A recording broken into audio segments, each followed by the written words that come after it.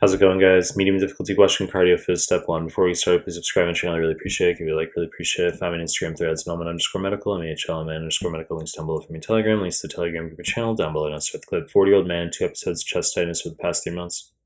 Angiogram was performed showing coronary blood flow following an infusion of norepinephrine.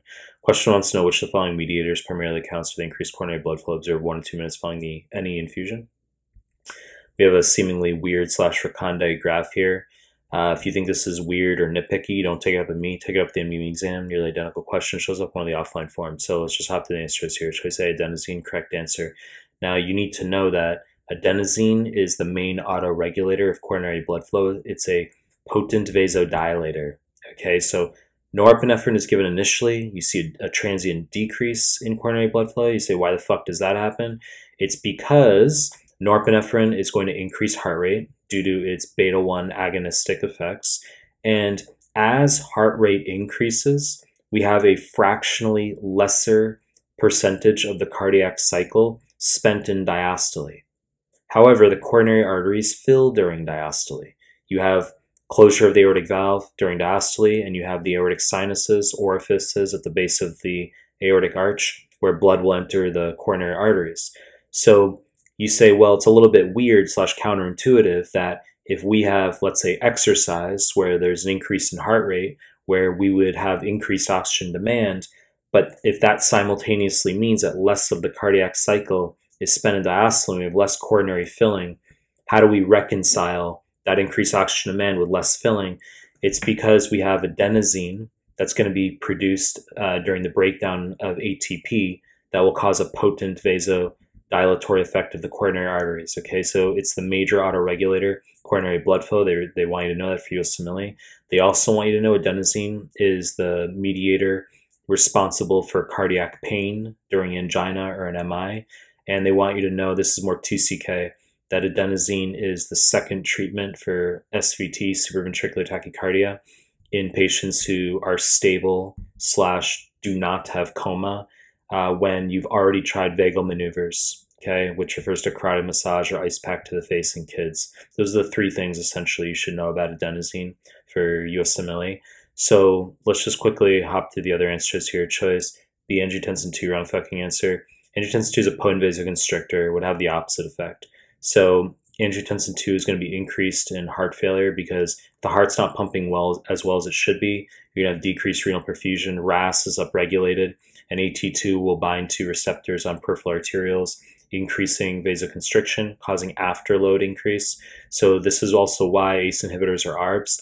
USMLE loves lisinopril, our first line for improving ejection fraction heart failure. Okay, if you decrease afterload, the heart can pump easier, less resistance. Angiotensin 2, of course, also uh, a constrictor of the efferent arterioles leaving the kidney, thereby increasing filtration fraction. That is maintaining GFR in the setting of decreased renal plasma slash blood flow? Wrong fucking answer. Choice C epinephrine, wrong fucking answer. So this can be a bit confusing. You should know just tangentially that norepinephrine agonizes alpha 1, alpha 2, beta 1. Epinephrine agonizes alpha 1, alpha 2, beta 1, beta 2. So the difference between norepinephrine and epinephrine is that epinephrine can agonize beta 2, whereas norepinephrine cannot. Now, what I'm going to tell you is going to sound a little bit weird slash confusing if you're weak on pharm.